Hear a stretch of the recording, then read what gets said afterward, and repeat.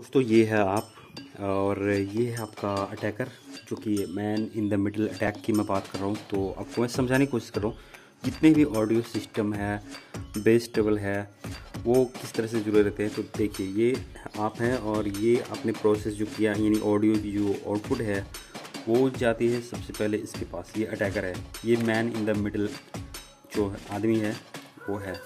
तो आपकी जो इन्फॉर्मेशन है, इसके पास जाएगी।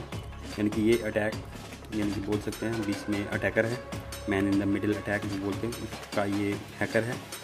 तो आपकी जो ऑडियो आउटपुट होगी, यानी कि जो आपने प्रोसेस किया, और ये प्रोसेस सीधा बैंक में ना जाकर इसके पास गया।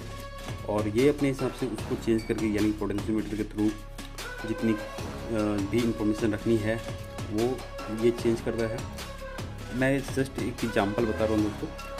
तो ये चेंज करेगा इसकी आवाज़ कितनी रखनी है, यानी कि आपकी जो इंफॉर्मेशन है ये चेंज कर सकता है। तो इस तरह से चेंज करेगा ये, और बेस कितनी रखनी है, कितनी अमाउंट रखनी है। मान लिया आपने बैंक को कोई काम किया तो यहाँ पे आपने जो प्रोसेस किया वो ऑनलाइन बैंकिंग की बात करूँ तो इसके पास गया? और जो फ्रॉड साइड होता है स्कैम होता है, और फिजिंग अटैक होता है, उस तरह के अटैक जो है, ये साइबर की जो थोड़ी सी एडवांस चीज़ें है।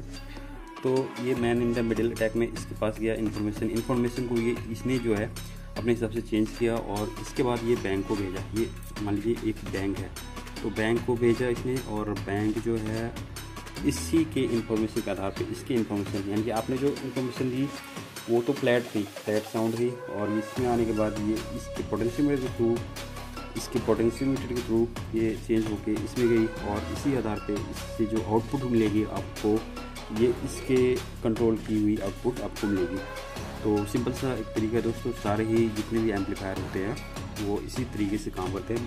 बोल सकते हैं man in the middle attack जो होता है, अपना बेसिन टेबल बोर्ड होता है।